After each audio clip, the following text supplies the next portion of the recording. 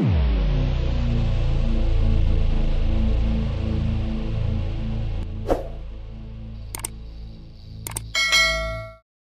Bima Sakti, di bintang tanpa nama.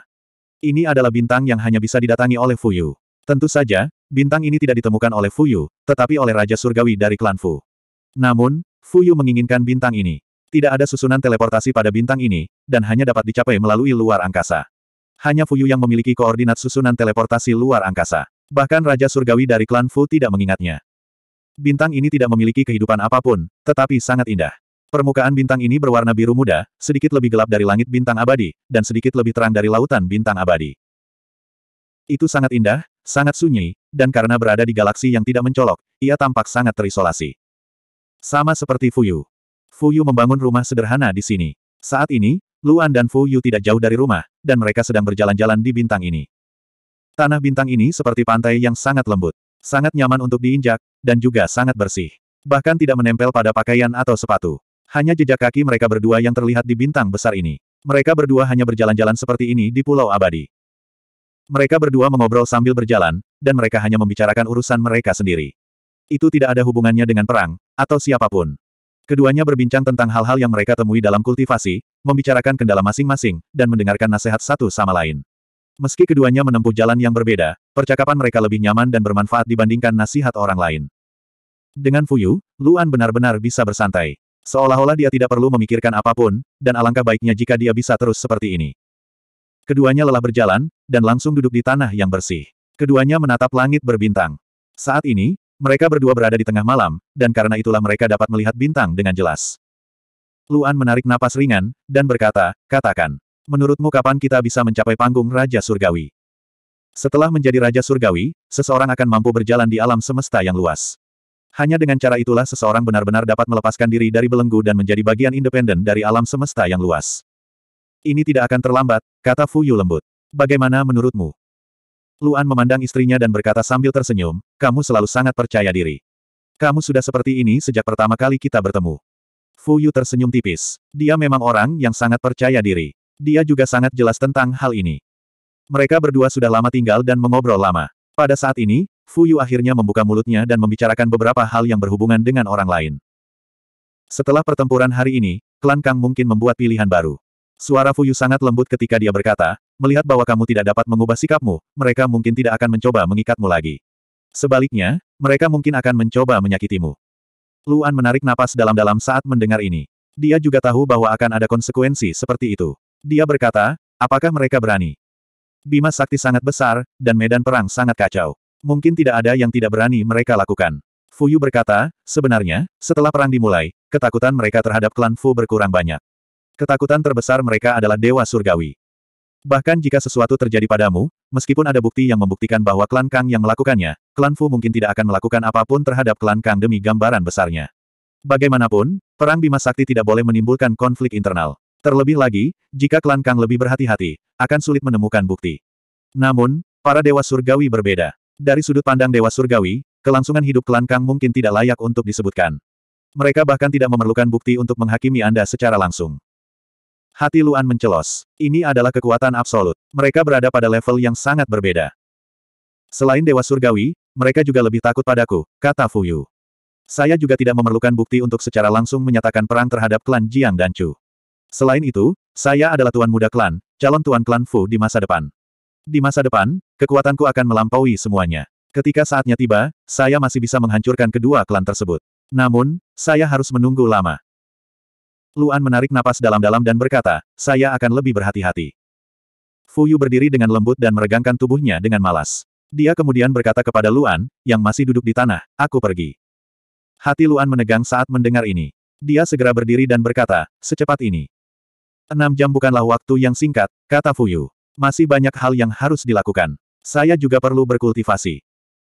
Hati Luan mencelos, tapi dia hanya bisa berkata, oke. Okay. Oh benar, Fu Yu tiba-tiba memikirkan sesuatu dan berkata, orang berikutnya yang melawan suami adalah klan Liu. Suami seharusnya sudah bisa menebaknya, kan? Luan mengangguk. Liu Yi telah mengatakan bahwa kemungkinan besar mereka akan bertarung dengan urutan kekuatan yang terbalik. Ini yang paling logis. Karena itu, pertempuran berikutnya adalah melawan Dewa Surgawi klan Muliu. Pertempuran ketiga adalah melawan klan Li, kata Fu Yu. Luan terkejut saat mendengar ini. Karena klan Jin Lipotian Surgawi dan klan Si Jingking Lei Siang memiliki kekuatan yang setara, mustahil untuk membedakan antara klan kelima dan keenam. Oleh karena itu, Liu Yi tidak bisa menebak lawan untuk pertarungan ketiga. Sekarang setelah Fu Yu mengatakannya, Luan dapat mempersiapkannya terlebih dahulu. Fu Yu memandang Luan, menciumnya, dan berkata, aku pergi. Luan mengangguk dan berkata, kamu berada dalam bahaya yang lebih besar daripada aku. Kamu harus melindungi dirimu sendiri sampai aku menjadi cukup kuat untuk melindungimu. Mendengar kata-kata Luan, Fu Yu memperlihatkan senyuman indah yang tidak dapat dilihat orang lain dan berkata, Oke, aku akan menunggumu. Setelah berbicara, ruang di sekitar Fu Yu berubah, dan dia menghilang di depan Luan. Melihat Fu Yu menghilang di hadapannya, Luan merasa seluruh planet menjadi dingin. Dia tidak tinggal lama di sana dan menghilang juga. Tanda pisah tanda pisah tanda pisah. Tanda pisah tanda pisah. Planet abadi, markas besar aliansi tripartit. Di kantor Liu Yi, fluktuasi spasial muncul, menyebabkan ketiga wanita di ruangan itu segera menoleh. Orang yang muncul secara alami tidak lain adalah Luan. Melihat Luan kembali, Yao, si cantik Yang, dan Liu Yi segera berdiri dan bertanya dengan cemas, suamiku, apakah kamu terluka? Saya baik-baik saja. Melihat ekspresi khawatir ketiga wanita itu, Luan memperlihatkan senyuman santai. Namun, mata ketiga wanita itu jelas dipenuhi rasa tidak percaya. Mereka bisa mempercayai apa pun yang dikatakan Luan tanpa syarat, tapi mereka benar-benar tidak bisa mempercayainya dalam pertarungan. Hal ini terutama terjadi setelah mengetahui tentang apa yang terjadi di Istana Naga. Melihat ketiga wanita itu masih khawatir, Luan tersenyum tak berdaya, menggaruk kepalanya, dan berkata, aku baik-baik saja kali ini. Aku tidak berbohong padamu. Aku bahkan bisa memberitahumu secara detail. Oke. Liu Yi merasa tidak nyaman sama sekali dan berkata, suamiku, kamu harus menceritakan semuanya padaku. Jangan membuat pilihan. Luan tersenyum. Dia awalnya ingin memberitahu ketiga wanita itu tentang kompetisi tersebut, tetapi dia hanya ingin memberitahu mereka tentang pertarungan terakhir. Namun, karena ketiga wanita itu ingin mendengarnya, Luan memberitahu mereka proses pertempuran tersebut. Namun, dia hanya bisa memberitahu mereka secara singkat, dan tidak mungkin dia menjelaskan setiap gerakan. Kali ini, Luan tidak berbohong. Dia memberitahu mereka tentang konsumsi dan beban pertempuran kedua. Faktanya, ini bukanlah masalah besar. Akan lebih mudah bagi ketujuh wanita itu untuk mempercayainya jika dia mengatakan bahwa dia baik-baik saja di masa depan. Ketika ketiga wanita itu mendengarkan dua pertarungan pertama, wajah cantik mereka masih dipenuhi kekhawatiran, tapi itu jauh lebih baik daripada penjelasan sederhana Luan. Namun, saat Luan memulai pertarungan ketiga, tubuh halus ketiga wanita itu bergetar.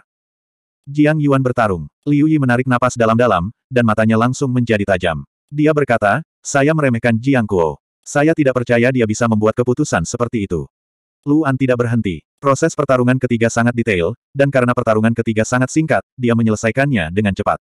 Ketika ketiga wanita itu mendengar bahwa Luan melemparkan Jiang Yuan ke lautan api, mereka semua tahu apa yang ingin dikatakan suami mereka. Apakah menurutmu aku melakukan hal yang benar? Setelah menjelaskannya, Luan bertanya kepada ketiga wanita itu, apakah ini agak sembrono?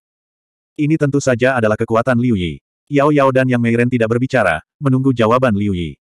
Liu Yi menggelengkan kepalanya sedikit setelah berpikir dan berkata, sebelum hasilnya keluar, tidak ada yang tahu apakah tindakan suamiku baik atau buruk. Ada kemungkinan buruk, tapi ada juga kemungkinan baik. Namun, menurutku akan agak sulit bagi klan Kang untuk menyerah sepenuhnya pada suamiku karena kejadian ini. Liu Yi berkata dengan serius, bagaimanapun, ini hanya satu kejadian. Bahkan jika klan Kang merasa malu dan malu, itu masih belum cukup. Arti penting suami saya jauh lebih besar daripada kejadian yang satu ini. Terlebih lagi, Jiang Kuo berani membiarkan putranya bertarung, yang berarti dia bisa melakukan apa saja demi klan Kang, apalagi amarahnya sendiri. Menurutku, klan Kang mengutamakan kekuatan masa depan mereka. Adapun wajah mereka, mereka bahkan bisa mengabaikannya. Kalau tidak, kejadian di Gujiang tidak akan terjadi 22 tahun yang lalu, membuat klan lain menjadi bahan tertawaan. Liu Yi berkata, jadi, mungkin klan Kang akan marah dalam jangka pendek, tapi begitu kemarahan mereka mereda, mereka akan tetap berusaha memenangkan hati suamiku. 3682. Usai pertempuran, klan Hachiko mengadakan pertemuan besar mengenai pertempuran hari ini. Saat para petinggi berdiskusi, para penonton juga berdiskusi. Pada awalnya, ketika semua orang kembali, mereka dikejutkan oleh serangan Luan terhadap Jiang Yuan, dan diskusinya adalah tentang masalah ini. Mereka mendiskusikan temperamen Luan, kepribadian Luan, dan perubahan selanjutnya dalam klan Jiang dan Chu. Namun, hal tersebut tidak berlangsung lama. Setelah mengobrol sebentar, semua orang masih fokus pada dua pertarungan pertama. Di bawah pengawasan semua orang, Luan benar-benar memenangkan dua pertarungan berturut-turut, dan pertarungan kedua adalah satu lawan tiga. Sayangnya, mereka tidak bisa melihat pemandangan di bawah penghalang es yang mendalam, karena itulah bagian yang paling seru. Bahkan jika orang lain dengan tingkat kultivasi yang sama dengan Luan dan ketiga anggota klan Kang menjadi dekat, mereka tidak akan menandingi ketiga anggota klan Kang. Mampu mendekat adalah sebuah keterampilan, dan mampu menang dalam pertarungan jarak dekat bahkan lebih merupakan sebuah keterampilan. Namun, meski mereka hanya bisa melihat bagaimana Luan memaksa mereka bertiga jatuh ke tanah, prosesnya cukup untuk mengejutkan mereka. Di klan Hachiko, banyak Raja Surgawi juga mendiskusikan dua pertempuran tersebut. Semua Raja Surgawi dapat dengan jelas merasakan detail pertempuran tersebut. Meskipun kekuatan Luan jauh lebih rendah dari mereka, dan tidak ada kemungkinan untuk dibandingkan, dalam hal keterampilan bertarung jarak dekat, waktu, pilihan ilusi, dan penciptaan kondisi, bahkan mereka tidak dapat dibandingkan dengan Luan. Jika mereka adalah Luan, bahkan dengan adanya atribut ekstrim, mereka tidak akan mampu mengalahkan ketiga anggota klan Kang. Namun, dibandingkan dengan keterampilan tempur Luan, semua Raja Surgawi lebih menghargai berbagai atribut ekstrim Luan. Hari ini, mereka telah melihat Luan bertarung dengan mata kepala mereka sendiri, masing-masing menggunakan kekuatan kematian, es dingin yang mendalam, api merah, kekuatan ruang, dan kekuatan kegelapan. Sejujurnya, bahkan para ahli panggung Raja Surgawi ini sangat iri dengan berbagai atribut Luan. Ini hanyalah kekayaan dan keuntungan yang tak terbayangkan. Namun, dibandingkan dengan Deep Ice dan kekuatan kematian yang sering mereka lihat, semua Raja Surgawi lebih memperhatikan api merah dan energi kegelapan Luan. Kekuatan kegelapan bersifat ilusi dan halus, sehingga mustahil untuk menentukan atributnya. Bahkan seorang ahli panggung Raja Surgawi tidak akan mampu melihat esensinya. Namun, api merahnya berbeda. Bentuk dan atributnya sama. Itu benar-benar api murni. Namun, justru nyala api inilah yang paling mengejutkan semua kultivator panggung Raja Surgawi. Atribut utama. Dalam pertarungan hari ini, setelah melihat api merah dengan mata kepala sendiri, mereka yakin bahwa ini adalah atribut pamungkasnya. Pada saat ini, semua Raja Surgawi dari klan Gao hadir di aula pertemuan. Salah satu dari mereka berkata dengan pasti, api ini jelas merupakan atribut ekstrim, dan dalam hal suhu, tidak diragukan lagi lebih kuat daripada api racun alam semesta transendental kelancu. Dilihat dari atribut apinya saja, api merah ini lebih seperti atribut api pamungkas yang sebenarnya. Begitu kata-kata ini diucapkan, semua orang yang hadir sangat terkejut. Meskipun dia berpikir begitu dalam hatinya, itu masih cukup mengejutkannya ketika dia mengatakannya dengan lantang. Munculnya api merah ini berarti api kelancu bukanlah atribut api pamungkas. Mulai hari ini dan seterusnya, posisi atribut api pamungkas akan berubah total. Lebih tepatnya, api kelancu seharusnya memiliki atribut racun api yang ekstrim. Bukankah ini terlalu menakutkan? Orang lain berbicara. Dia menarik napas dalam-dalam dan berkata dengan berat, nyala api ini benar-benar di luar imajinasi. Mungkinkah atribut kita mungkin bukan batas sebenarnya, dan ada atribut tipe bumi lain di alam semesta luas yang sebanding dengan kita? Semua orang tersentak lagi. Benar sekali, Api Luan membuat klan Hachiko kehilangan kepercayaan pada atribut mereka untuk pertama kalinya. Semua orang bahkan merasa terancam. Tidak. Pada saat ini, pemimpin klan Gao, Gao Yuyang, berbicara dengan suara yang dalam dan berkata dengan pasti, kita semua adalah atribut tertinggi yang sebenarnya. Tidak ada keraguan tentang ini. Tidak ada atribut lain yang dapat menandingi kita. Selain klan Chu, ketujuh klan semuanya memiliki satu atribut. Hanya api racun alam semesta transendental klan Chu yang terbagi menjadi racun dan api. Lagi pula, atribut kita setara dengan empat klan besar dan klan roh. Artinya atribut kita harus menjadi atribut tertinggi. Semuanya, jangan meremehkan dirimu sendiri, dan jangan biarkan pemikiran seperti itu memengaruhi anggota klanmu. Gao Yuyang memandang semua orang dan berkata, masalahnya hanya terletak pada klan Chu. Memang, seperti yang dipikirkan semua orang, kemungkinan besar api klan Chu bukanlah atribut api pamungkas yang sebenarnya, tetapi atribut racun pamungkas. Semua orang memandang pemimpin klan, dan hati mereka tenggelam. Karena pemimpin klan mengatakan demikian, lalu ketika dunia secara umum percaya bahwa klan Hachiko mewakili delapan atribut dasar tertinggi, sebenarnya ada jalan lain yang tidak sesuai dengan namanya. Tapi, dari mana Luan mendapatkan atribut api pamungkas? Orang lain bertanya, informasi dari semua klan adalah sama. Luan telah memiliki jenis api ini sejak dia mulai berkultivasi. Dia pasti tidak mengolahnya dalam jangka waktu yang lama seperti Sengoku dan klan penyebaran bintang.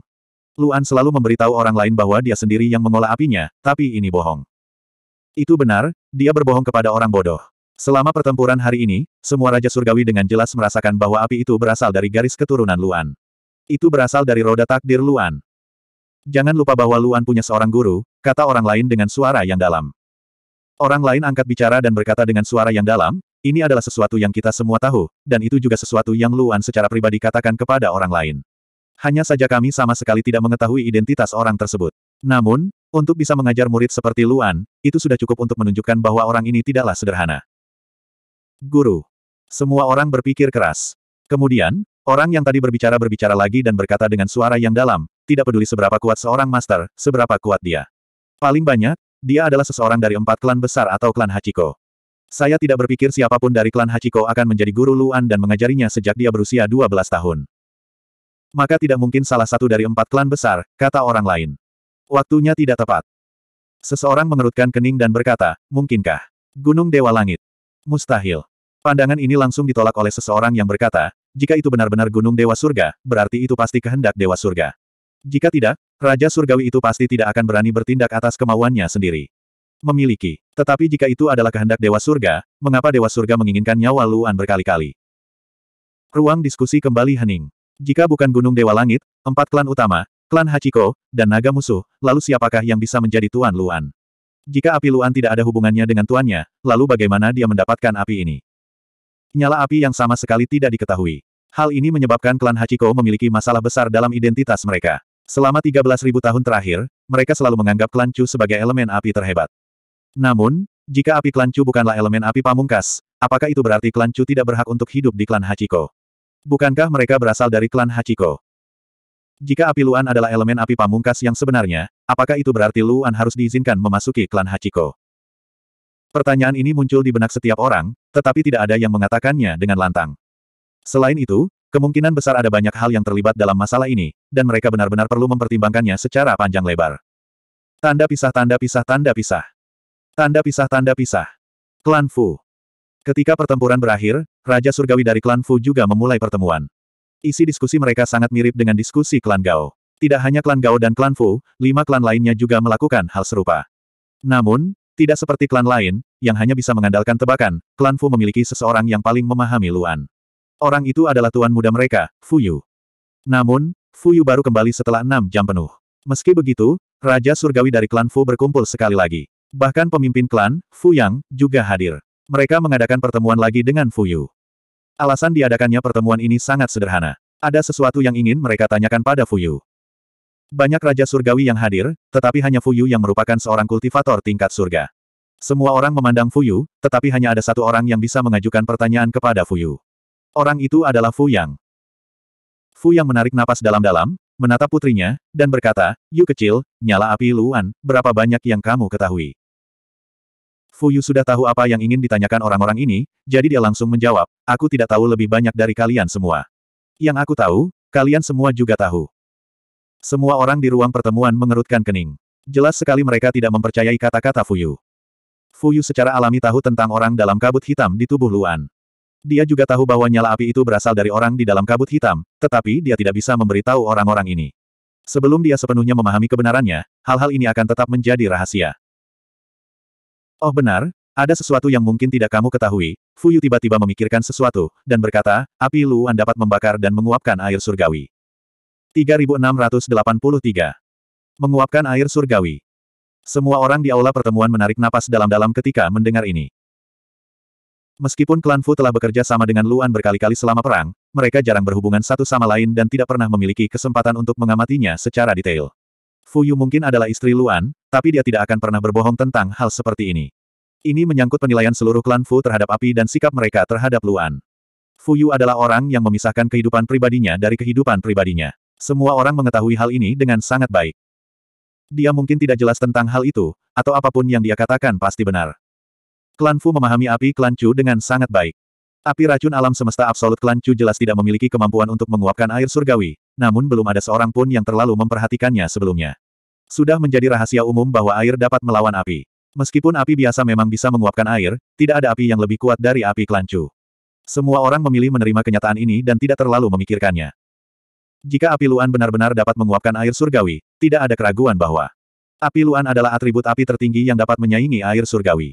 Itu adalah atribut api pamungkas yang sebenarnya dari delapan atribut utama. Semua orang menarik napas dalam-dalam. Jika berita ini tersebar, dunia akan benar-benar berubah. Setidaknya, Klan Chu akan menerima banyak kritik. Keraguan yang tak terhitung jumlahnya akan diarahkan pada klan Chu. Pada saat ini, Fu Heng dari alam Raja Surgawi memandang ke arah pemimpin klan dan bertanya dengan suara rendah, haruskah kita menyebarkan berita ini? Fu yang mengerutkan kening. Sebagai pemimpin klan, dia jarang menunjukkan ekspresi seperti itu, tapi dia juga ragu-ragu. Fu yang tidak menjawab. Sebaliknya, dia menatap putrinya dan bertanya, apakah Anda bersedia menyebarkan informasi ini? Terserah kamu, kata Fu Yu singkat. Melihat sikap Fu Yu yang acuh tak acuh, Fu Heng menarik napas dalam-dalam dan bertanya pada Fu Yu, Tuan Muda, apakah Anda tidak takut ras roh akan mengetahui hal ini? Fu Yu memandang Fu Heng dan berkata, menurutku, ras roh tahu lebih banyak tentang api daripada kita. Begitu kata-kata ini diucapkan, hati semua orang bergetar sekali lagi. Fu Yu adalah komandan garis depan dan bertanggung jawab atas semua informasi. Fu Heng segera bertanya, Tuan Muda, apakah kata-kata Anda ada dasar? Tidak. Fu Yu dengan jelas menyangkal dan berkata dengan ringan, itu hanya tebakan pribadiku. Banyak kultivator panggung Raja Surgawi di ruang diskusi saling memandang.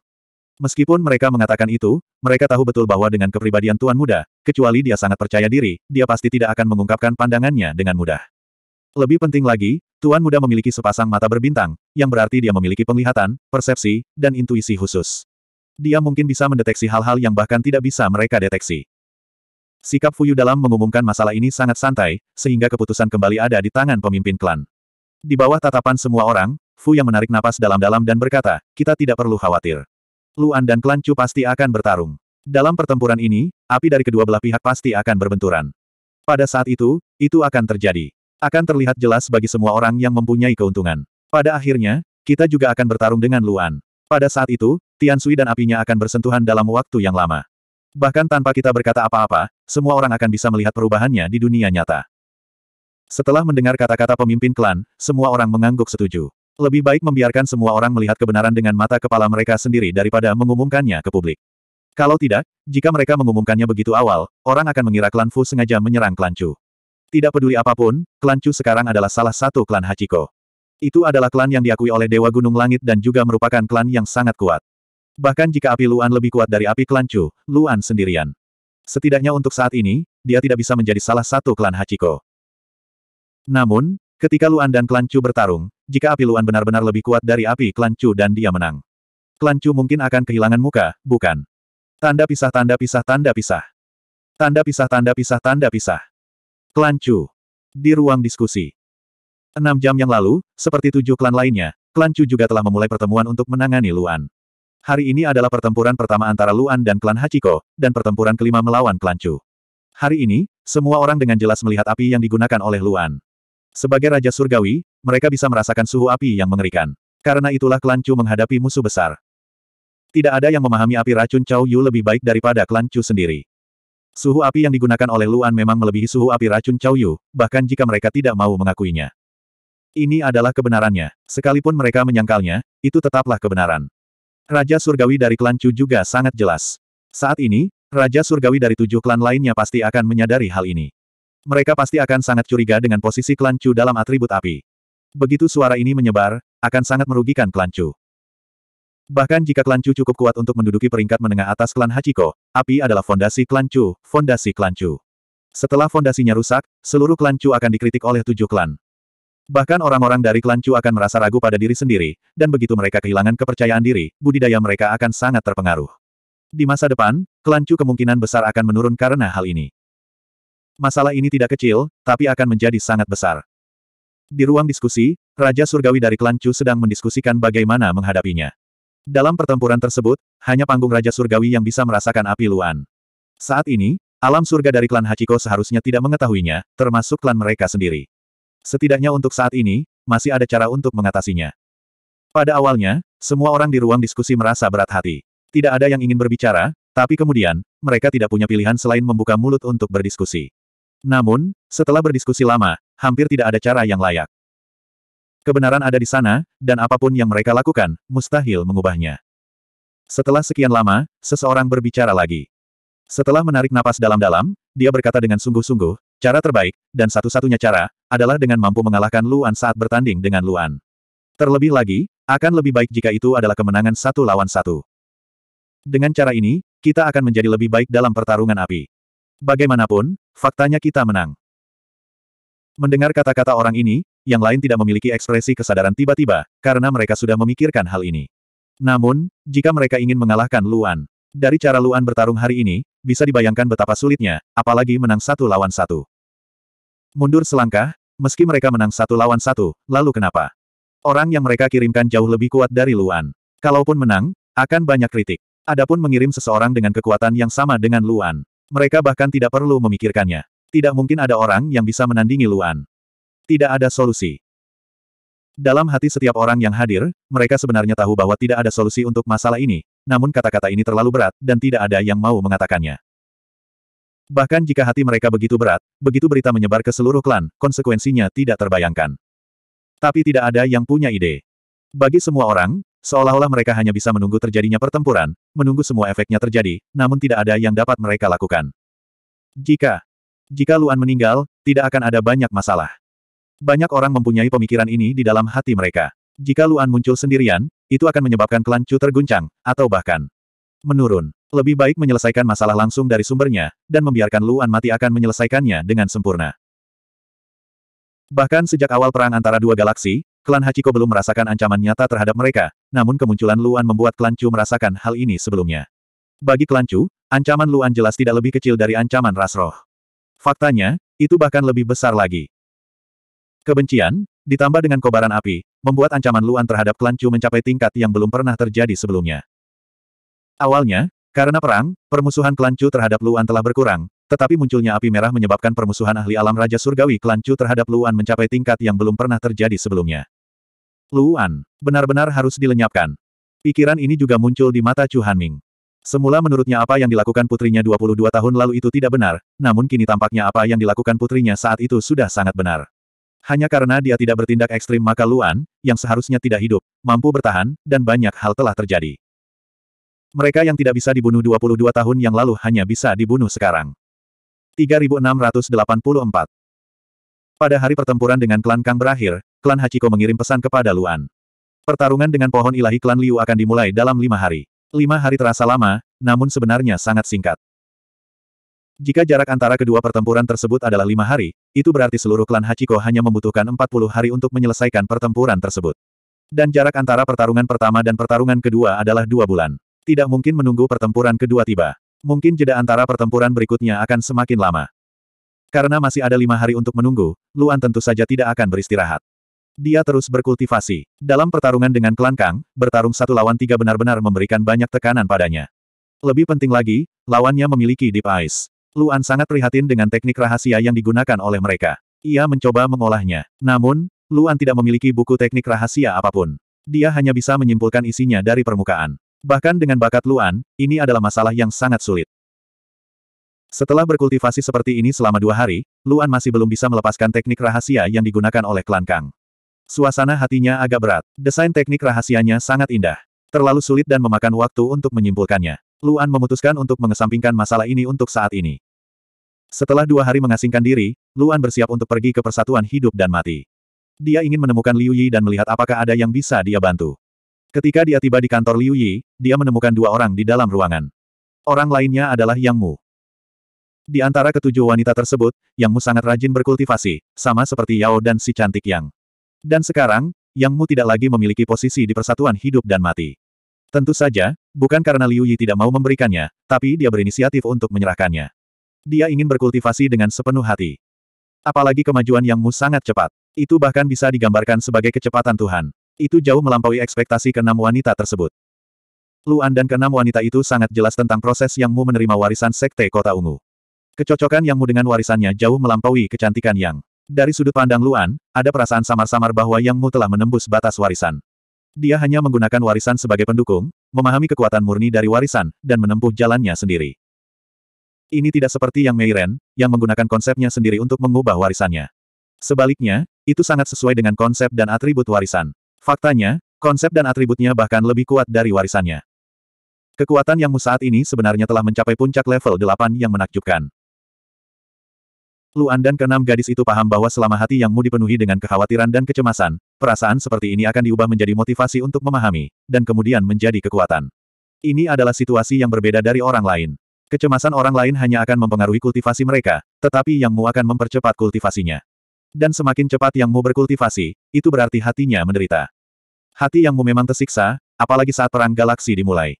Setelah Yang Mu mengetahui bahwa suaminya berada di urutan teratas daftar yang harus dibunuh oleh ras roh, ketakutan dan kecemasan di hatinya menjadi sangat tinggi. Karena hal inilah dia memilih untuk sepenuhnya melepaskan semua tugasnya dan fokus pada kultivasi. Seperti Luan, Luan berkultivasi mati-matian karena ingin pergi ke sisi Fuyu dan melindungi Fuyu secepatnya, sedangkan Yang Mu berharap bisa pergi ke sisi suaminya secepatnya, setidaknya bisa bertarung berdampingan. Memihak suaminya sesegera mungkin. Perlu diketahui bahwa Yang Mu baru berusia 25 tahun tahun ini. Untuk mencapai puncak tingkat 8 pada usia 25 tahun, belum lagi di sekte, bahkan di seluruh klan Hachiko, dia benar-benar luar biasa.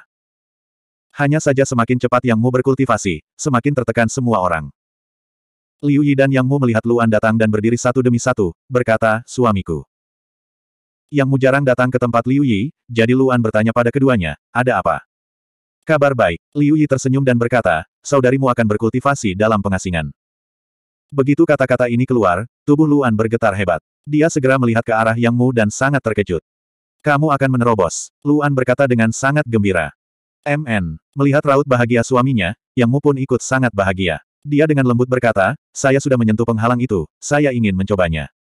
Luan mendengar ini dan menarik napas dalam-dalam. Sebagai orang yang berpengalaman, dia dengan cepat berkata, kamu harus memiliki pemahaman tertentu sebelum menerobos. Jika tidak, akan lebih sulit untuk menerobos setelah terlalu sering menerobos. Kamu tidak boleh cemas. Melihat tatapan cemas dan prihatin suaminya, kedua wanita itu menampakkan senyuman. Liu Yi tersenyum dan berkata, suamiku, apakah kamu masih menganggap saudarimu masih anak-anak?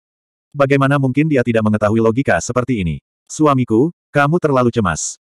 Luan mendengar ini dan tersenyum sedikit canggung. Namun, dia tidak peduli sama sekali dan sangat senang. Dia memandang Yang Mu dan berkata, kapan kamu akan berkultivasi dalam pengasingan? Hari ini, Yang Mu memandang Luan dan berkata dengan sangat gembira.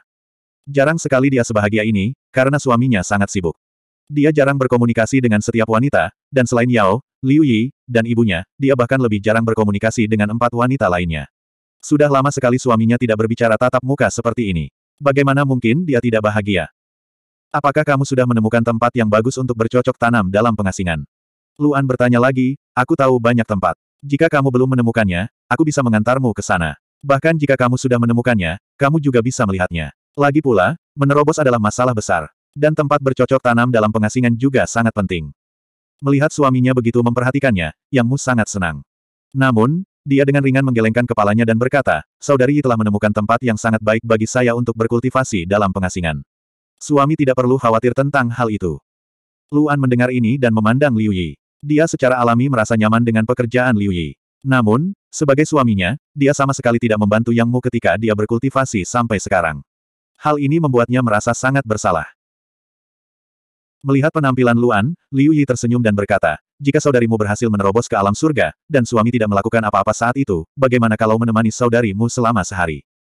Yang Mu terkejut. Dia memandang Liu Yi dengan heran karena dia tidak pernah meminta hal seperti itu. Dia tahu bahwa suaminya sangat sibuk, dan sedang sibuk dengan urusan yang serius. Dia tidak bisa membantu, jadi dia tidak ingin mengganggu suaminya dan menyeretnya ke bawah. Tidak dibutuhkan. Yang Mu memandang suaminya dan dengan cepat berkata, ini hanya sebuah terobosan, tidak perlu melakukan ini. Luan memandang Yang Mu. Dia tahu bahwa dia terlalu sedikit memedulikan Yang Mu, atau hampir tidak peduli sama sekali. Dia dengan sepenuh hati memikirkan bagaimana cara mengejar kekuatan Fuyu, tetapi pada saat yang sama, dia tidak akan pernah lupa bahwa ketujuh wanita itu juga adalah istrinya. Dia sudah merasa sangat kasihan pada istrinya. Dia tidak bisa tidak menemaninya selama sehari, apalagi menerobos ke alam surga. Jika itu orang lain, mereka mungkin akan merayakannya untuk waktu yang lama. Luan menarik napas ringan, tersenyum, memandang Yang Mu dan berkata, seperti yang dikatakan Saudari Yi, setelah kamu menerobos, aku akan menemanimu. Yang Mu terkejut. Dia benar-benar tidak menyangka akan ada hal seperti itu. Kita harus tahu bahwa ketika Yao, Liu Yi, dan ibunya menerobos, suaminya tidak menemani mereka, jadi dia bahkan tidak memikirkannya. Dia sangat senang. Dia sangat bersemangat hingga matanya menjadi merah. Namun, dia masih sangat khawatir bahwa dia akan menyeret suaminya ke bawah, dan berkata lagi, tidak perlu. Suamiku, Lakukan saja urusanmu sendiri, tidak perlu menemaniku. Suara Yang Mu sangat tercekat. Belum lagi Luan, bahkan Liu Yi pun merasa sangat tertekan. Melihat penampilan Yang Mu, hati Luan semakin menyalahkan dirinya sendiri, dan dengan lembut berkata, dengarkan saja aku, masalah ini sudah selesai. Setelah kamu menerobos, aku akan merayakannya untukmu. Meskipun suara Luan lembut, namun sangat tegas dan tidak perlu dipertanyakan lagi. Mendengar perkataan suaminya, Yang Mu tidak lagi keberatan, namun dia tidak bisa menahan air matanya agar tidak mengalir. Luan memeluk Yang Mu, hatinya dipenuhi rasa menyalahkan diri sendiri. Dia benar-benar tidak memenuhi syarat sebagai seorang suami. Setelah lama menghibur Yang Mu, dan secara pribadi mengirim Yang Mu ke area pengasingan. Setelah secara pribadi menyaksikan Yang Mu memasuki pengasingan, Yang Mu kembali, dan sekali lagi kembali ke kantor Liu Yi. Hati Luan agak tertekan, depresi yang disebabkan oleh menyalahkan diri sendiri menyebabkan suasana di dalam ruangan menjadi sangat berat. Liu Yi secara alami melihat suasana hati suaminya, dan juga mengetahui pikiran batin suaminya, dan berkata, Suamiku, kamu tidak perlu terlalu banyak berpikir, upaya saat ini adalah mengakhiri perang sesegera mungkin. Setelah perang selesai, suami akan punya banyak waktu untuk menemani kita. Luan mengangkat kepalanya dan menatap Liu Yi, dia tidak berani berkata terlalu banyak, dan hanya bisa berkata, setelah perang usai, aku telah membalas dendam, dan juga memenuhi keinginan terakhir tuanku, aku menang tidak melakukan apa-apa, dan akan selalu menemanimu. Mendengar perkataan suaminya, Liu Yi mengungkapkan senyuman bahagia. Meski ketiga hal ini sangat sulit, dalam hatinya, suaminya bukanlah orang biasa, melainkan seorang jenius sejati. Hal-hal ini mungkin sangat sulit bagi orang lain, dan membutuhkan waktu seumur hidup untuk menyelesaikannya, tetapi dalam pandangan Liu Yi, mungkin suaminya tidak membutuhkan waktu lama. Bagus. Senyuman Liu Yi sangat indah, dia tahu bahwa suaminya bukanlah seorang fanatik seni bela diri, kultivasi lebih bersifat paksaan, dan berkata, jika saatnya tiba, suamiku, jangan salahkan kami karena berisik dan lengket. 3685 Di markas besar aliansi tripartit, di area aliansi manusia surgawi. Sesosok terbang ke wilayah Celestial Alliance dan memasuki salah satu paviliun mereka. Itu tidak lain adalah Luan. Paviliun ini adalah paviliun umum aliansi manusia surgawi. Itu digunakan untuk bisnis dan pertemuan. Suhe tidak berada di paviliun, tapi dia juga tidak terlalu jauh. Dia sedang mengobrol dengan orang lain di luar paviliun. Alam Zuhe telah mencapai puncak alam manusia surgawi. Di atasnya adalah alam Raja Surgawi. Beralih dari alam manusia surgawi ke alam Raja Surgawi tidak ada hubungannya dengan kultivasi, jadi Suhe tidak perlu berkultivasi. Su He jelas tercengang saat melihat Master Aliansi. Dia segera menyapa orang-orang yang dia ajak bicara dan pergi. Dia pergi ke paviliun dan berdiri di depan Luan. Tuan Aliansi. Su He menangkupkan tangannya dan menyapanya. Dia tahu bahwa ketua aliansi pasti ada sesuatu yang harus dilakukan karena dia jelas bukan seseorang yang suka berkeliaran. Benar saja, Luan berkata, Senior, biarkan Yun Bing datang ke sini. Su He semakin terkejut saat mendengar ini. Mungkinkah, ketua aliansi benar-benar menyukai Nona Yun? Namun, perasaan itu bersifat suka sama suka. Selama Nona Yun bersedia, itu bukan masalah besar. Namun, ketua aliansi sudah memiliki banyak istri. Berapa banyak lagi yang ingin dia nikahi? Menurut Suhe, Luan tidak memiliki kekurangan selain menjadi seorang playboy. Namun, setiap orang mempunyai beberapa kekurangan. Suhe tidak akan kecewa dengan Luan karena hal ini. Namun, dia tidak mengerti mengapa ketua aliansi memanggil Yun Bing ke sini jika dia tertarik padanya. Tidak bisakah dia langsung pergi ke kamar Yun Bing? Iya, Suhe sedikit bingung, tapi dia segera menuruti perintah itu. Namun, saat dia hendak berbalik dan pergi, Luan berbicara lagi. Ngomong-ngomong, kata Luan, jika ada yang bertanya, jangan beritahu mereka bahwa aku ingin bertemu dengannya. Suhe semakin terkejut saat mendengar ini. Dia segera menyadari bahwa ketua aliansi tidak ingin orang luar mengetahui bahwa dia telah memanggil Yun Bing. Mungkinkah ketua aliansi ingin tetap bersikap low profile sebelum dia mengambil Nona Yun? Iya, Suhe kembali mematuhi perintah itu dan segera terbang ke kejauhan. Yun Bing sedang berdebat dengan orang lain di tempat latihan tidak jauh dari situ. Meski banyak orang yang ingin berdebat dengan Yun Bing, Yun Bing menghabiskan sebagian besar waktunya di pavilionnya sendiri dan jarang keluar. Yun Bing adalah wanita yang sangat anggun dan tertutup.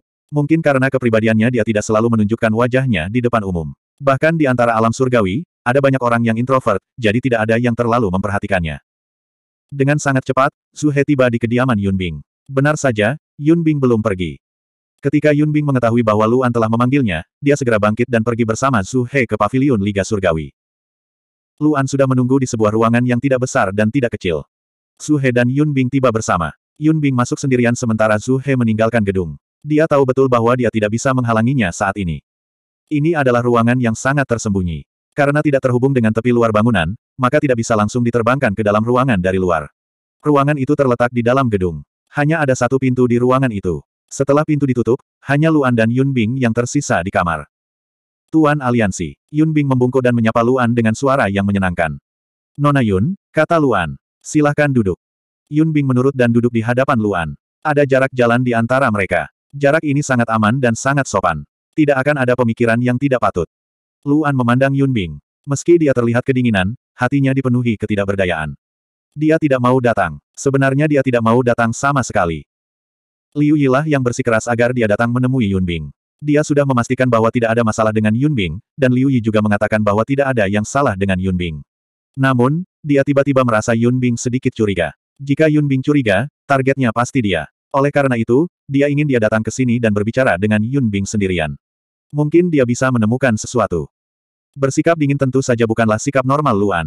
Luan yang normal sangat alami. Selain berkelahi, dia akan memiliki ekspresi apa pun yang seharusnya dia miliki. Apalagi dia sangat sopan. Alasan kenapa dia begitu dingin adalah karena sikap Luan saat ini terhadap wanita adalah untuk menghindari keterikatan yang tidak perlu. Bagaimana dia bisa menemukan sesuatu? Luan tidak tahu harus mulai dari mana, dan Liu Yi tidak memberinya nasihat sama sekali. Oleh karena itu, keheningan menyebar di dalam ruangan untuk beberapa saat. Suasana di antara mereka berdua tampak sedikit canggung. Akhirnya, Luan berbicara lebih dulu. Dia menarik napas dalam-dalam dan berkata, Nona Yun, apakah Anda sudah beradaptasi dengan kehidupan di sini? Yun Bing memandang Luan dan berkata dengan lembut, di sini enak. Aku sangat menyukainya. Luan sedikit mengangguk. Setelah berpikir sejenak, dia berkata, sebenarnya saya datang ke sini kali ini karena penasaran dengan pengalaman Nona Yun di masa lalu. Ranah Nona Yun sangat tinggi dan kemampuan bertarungnya sangat kuat. Saya sangat ingin tahu tentang bagaimana Anda berkultivasi. Setelah pertempuran hari itu, Luan menanyakan pertanyaan ini secara singkat padanya. Namun, mereka hanya bisa melakukan percakapan sederhana di depan semua orang. Isi pembicaraan mereka sangat terbatas. Yun Bing hanya mengatakan bahwa dia berkultivasi di rumah dan diasuh oleh keluarganya. Dia tidak punya master. Karena itu, Luan memikirkan topik ini. Dia mungkin benar-benar dapat menemukan sesuatu. Ibukulah yang telah memupuk kemampuanku. Yun Bing tidak ragu-ragu dan langsung menjawab, orang lain di keluarga kadang-kadang menemani saya berkultivasi, tetapi sering kali, ibu saya yang mengajari saya, termasuk keterampilan bertarung yang sebenarnya. Ibu. Hati Luan menegang. Ibu Yun Bing seharusnya tidak selamat dan meninggal ketika klan roh menyerbu planet ini. Kalau tidak, Yun Bing tidak akan hidup sendirian selama ini. Dia berhenti berbicara setelah beberapa kalimat karena Luan tidak tahu harus bertanya apa. Itu sangat canggung. Pertanyaan tidak tahu apa-apa seperti ini adalah semacam siksaan bagi Luan. Terlebih lagi, Yun Bing sepertinya tidak memiliki masalah apa pun. Setiap gerakannya setelah dia datang ke sini sangat normal. Tidak perlu menyiksanya. Begitu saja, Luan hanya bisa menanyakan apa pun yang dia inginkan. Daripada mengatakan bahwa dia memaksakan sebuah pengakuan, lebih baik mengatakan bahwa dia sedang mengobrol tanpa tujuan. Yun Bing terus menjawab pertanyaan Luan satu persatu. Dia tidak menahan apa pun dan tidak menyembunyikan apa pun. Dibandingkan dengan sikap dingin Luan, sikap Yun Bing sangat tertutup, sama seperti kepribadiannya. Namun, yang mengejutkan Luan adalah selama percakapan tersebut, sikap Yun Bing tampak berubah sedikit demi sedikit. Dia memiliki emosi yang berbeda dari dua pertemuan sebelumnya. Emosi ini sangat halus dan tidak mudah dideteksi, namun tidak terlalu halus. Mata indah Yun Bing memiliki kilau tambahan dibandingkan pertemuan sebelumnya, dan secerca emosi ini mungkin. Emosi yang istimewa. Tatapan seperti ini, Luan pernah melihatnya dari istrinya sendiri sebelumnya. Dia juga pernah melihatnya dari wanita lain yang dia temui sebelumnya. Hal ini menyebabkan hati Luan mengepal. Dia yang baru saja menanyakan pertanyaan itu tidak ingin tinggal di sini lebih lama lagi. Oleh karena itu, Luan tidak bertanya lagi. Dia segera bangkit dan berkata kepada Yun Bing, hanya itu yang ingin saya tanyakan. Nona Yun, istirahatlah dengan baik. Saya pamit dulu. Setelah mengatakan itu, Luan bahkan tidak memberi banyak waktu bagi Yun Bing untuk bereaksi. Sosoknya langsung menghilang. Luan pergi begitu cepat dan tiba-tiba sehingga Yun Bing berdiri di sana dengan linglung. Meskipun dia pintar, dia tidak tahu apa yang terjadi. Luan, yang menghilang begitu saja, langsung kembali ke markas besar Persatuan Api Es dan kembali ke kantor Liu Yi. Liu Yi secara alami ada di sana. Ketika dia mengetahui suaminya telah kembali begitu cepat, dia sedikit terkejut. Dia bertanya, suamiku, kamu selesai bertanya begitu cepat. Luan mengerutkan kening. Dia tidak ingin menyembunyikan emosinya di depan istrinya. Dia berkata, jangan biarkan aku melihatnya di masa depan. Liu Yi terkejut saat mendengar ini. Dia langsung bertanya, kenapa? Luan semakin mengernyit. Setelah menarik napas dalam-dalam, dia berkata, cara dia menatapku salah. Liu Yi terkejut lagi, tapi dia segera memahami sesuatu. Dia mengangguk sedikit dan berkata, baiklah, kalau begitu suami tidak akan menemuinya di masa depan. Luan mengangguk dengan lembut dan kemudian perlahan mengendurkan kerutannya. Dia tidak tinggal lama di tempat Liu Yi dan segera pergi berkultivasi. Setelah Luan pergi, Liu Yi kembali ke kursi di belakang meja. Dia menarik napas dalam-dalam dan keganasan di matanya menjadi semakin jelas. Tentu saja. Namun, sekarang bukanlah waktu yang tepat. 3686 Dua hari kemudian, di sebuah pavilion di markas besar Persatuan Es dan Api. Ini adalah pavilion Waner. Meskipun Waner tidak bergabung dengan aliansi tripartit, dia masih memenuhi syarat untuk memasuki markas. Namun, markas besar aliansi tripartit terlalu bermusuhan. Emosi semua orang terlalu kuat karena perang.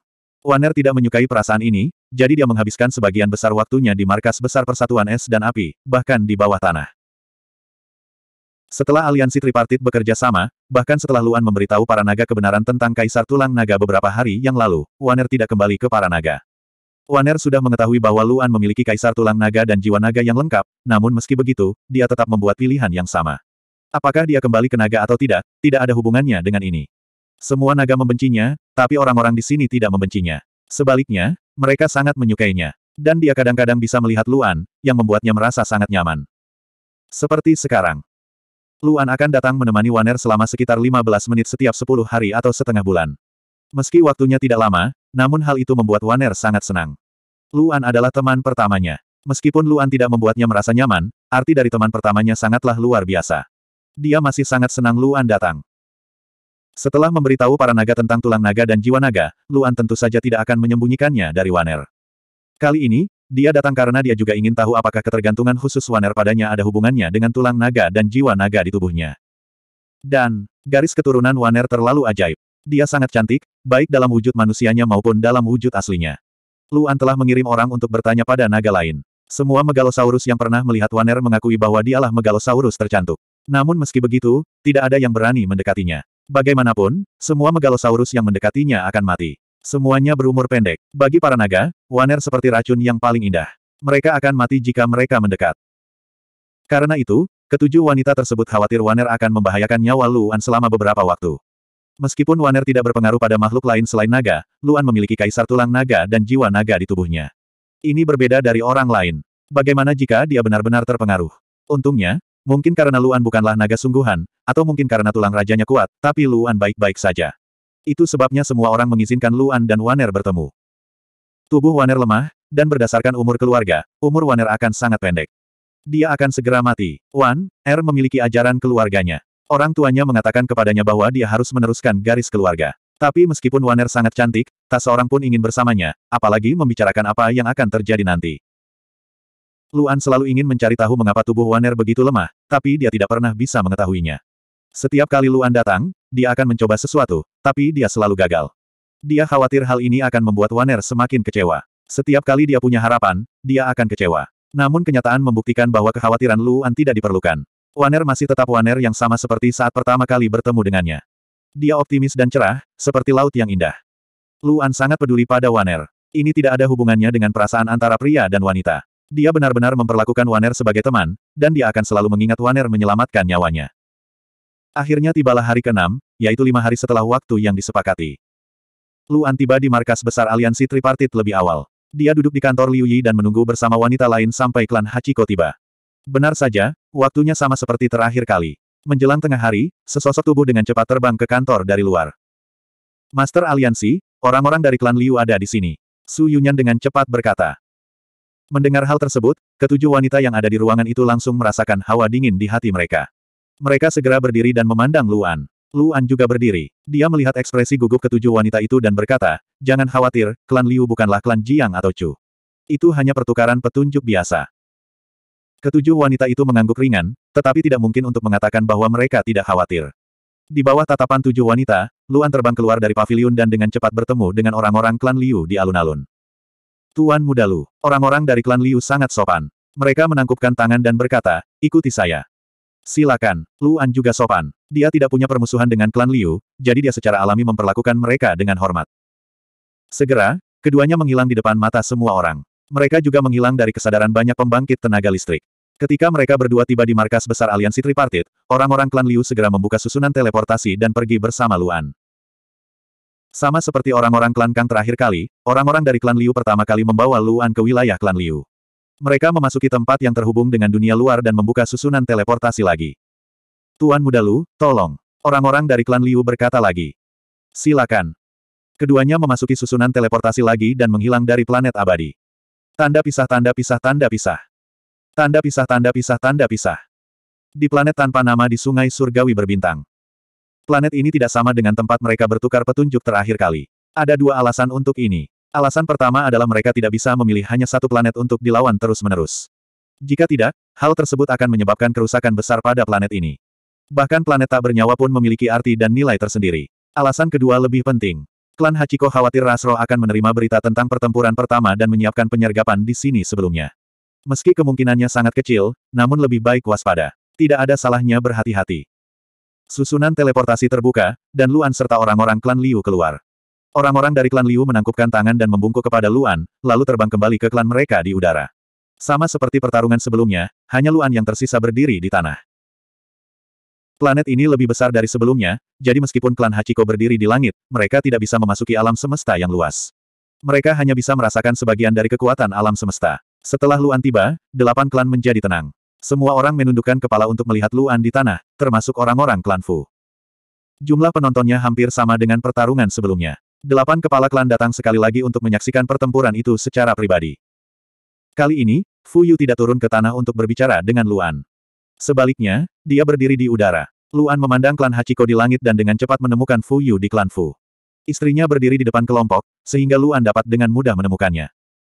Luan tahu istrinya tidak akan datang untuk berbicara dengannya. Dia juga tidak ingin istrinya datang. Jika tidak, hal itu akan berdampak negatif padanya. Setelah itu, Luan menoleh untuk melihat klan Kang. Dia menyadari bahwa Jiang Yuan tidak termasuk dalam klan Kang. Luan membenarkan bahwa Jiang Yuan tidak ada di sana. Dia tidak tahu apakah Jiang Yuan terlalu malu untuk datang, atau karena lukanya. Namun, lebih baik bagi Luan jika Jiang Yuan tidak ada di sini. Lagi pula, tidak ada seorang pun yang ingin bertemu dengan seseorang yang mereka benci. Segera, Luan menoleh untuk melihat klan Liu. Setiap klan memiliki pakaiannya masing-masing. Pakaian klan Liu berwarna hijau muda. Pakaian mereka disulam dengan banyak pola bambu. Terlihat sangat alami dan membuat orang merasa nyaman. Berbeda dengan pertandingan sebelumnya melawan Nyonya Jiang, kali ini Luan berinisiatif menangkupkan tangannya dan berkata dengan lantang kepada Nyonya Liu di langit, Junior Luan mendapat kehormatan untuk berdebat dengan Nyonya Liu. Mohon pencerahannya. Melihat ini, semua klan menarik napas dalam-dalam. Mereka pertama-tama melihat klan Liu, lalu segera melihat klan Kang. Sikap yang sangat berbeda bahkan bisa dikatakan sebagai pembeda antara langit dan bumi. Itu cukup membuat Jiang Xi merasakan sakit yang membakar di wajahnya. Memang benar demikian. Ekspresi lebih dari seratus orang klan Jiang sangat jelek, tetapi mereka tidak bisa berkata apa-apa. Anggota klan Liu sangat senang melihat Luan bersikap sopan. Bagaimanapun, semua orang menyukai orang yang menghormati mereka. Kepala klan Liu, Liu Wan, menoleh untuk melihat ahli rilem Raja Surgawi di sampingnya. Ahli alam Raja Surgawi ini bertanggung jawab atas urusan luar. Namanya Liu Qi. Dia berkata kepada Luan, jika Tuan Muda Lu tidak memiliki pertanyaan, mari kita segera mulai. Bagaimana? Oke, Luan berkata, saya tidak punya pertanyaan. Liu Qi mengangguk. Dia berbalik untuk melihat orang-orang di belakangnya dan berkata, naiklah ke panggung. Bertarunglah dengan seluruh kekuatanmu. Jangan terbebani. Jangan terlalu peduli tentang menang atau kalah. Berjuanglah sebagaimana mestinya. Iya. Segera, seseorang terbang keluar dari klan Liu. Saat orang ini terbang, orang-orang dari tujuh klan lainnya terkejut. Mereka bahkan terkesiap. Ini karena, hanya dalam pertempuran pertama, klan Liu telah mengirimkan empat orang. 3687. Keempat orang itu turun dari langit dan dengan cepat tiba di depan Luan. Mereka berdiri berjajar 15.000 kaki dari Luan, dengan jarak 10.000 kaki antara satu sama lain. Dilihat dari penurunan kekuatan keempat orang ini, mereka memang berada dalam ranah yang dibutuhkan oleh Fuyu. Kekuatan mereka hampir sama dengan empat orang yang bertarung melawan klan Kang terakhir kali. Tapi masalahnya Fuyu hanya menanyakan wilayahnya, bukan nomornya. Dengan kata lain, orang-orang ini dipilih sepenuhnya oleh klan. Tidak ada yang menyangka klan Liu begitu kejam hingga mengirimkan empat orang di babak pertama. Jika demikian, apakah akan ada putaran kedua? Bahkan jika Luan benar-benar bisa memenangkan ronde pertama, dia tidak akan mampu bertarung di ronde kedua, bukan? Namun, meski satu ronde berkurang, semua orang memang lebih peduli dengan pertarungan satu lawan banyak Luan. Terlebih lagi, kali ini pertarungan satu lawan empat, yang membuat semua orang semakin tertarik dengan pertarungan ini. Satu-satunya kelemahan adalah klan Liu memiliki atribut kayu, sedangkan Luan memiliki api yang kuat yang dapat dikatakan sebagai atribut tertinggi. Sudah diketahui umum bahwa api dapat menekan kayu, dan kayu hampir tidak dapat menandingi api. Apalagi dalam pertarungan yang terus-menerus, apinya akan semakin membesar. Jika Luan menggunakan api dari awal sampai akhir, bahkan empat orang klan Liu tidak akan bisa menang. Memikirkan hal ini, hati semua orang menegang. Kapan ranah menjadi begitu tinggi sehingga empat orang tidak bisa menang melawan satu? Di permukaan planet, Luan memandang keempat orang itu dari kejauhan, dan keempat orang itu juga memandang Luan. Segera, keempat orang itu menangkupkan tangan dan menyebut nama mereka satu demi satu. Yang ini Liu Xi, mohon sarannya. Yang ini Liu Xi, mohon sarannya. Yang ini Liu Huayan, mohon sarannya. Yang ini Liu Yangling, mohon sarannya. Keempat orang tersebut saling menyebutkan namanya, dan urutan bicaranya pun sesuai dengan sosok keempat orang tersebut, yaitu tinggi, pendek, gemuk, dan kurus. Tentu saja, tinggi, pendek, gemuk, dan kurus hanyalah relatif. Secara umum, hanya ada sedikit guru Tao yang gemuk atau kurus. Kebanyakan figur guru Tao memiliki proporsi yang sangat baik. Kecuali jika mereka benar-benar meninggalkan pertarungan jarak dekat, mereka secara alami akan menjadi kuat selama proses budidaya dan tidak akan berubah bentuk secara serius.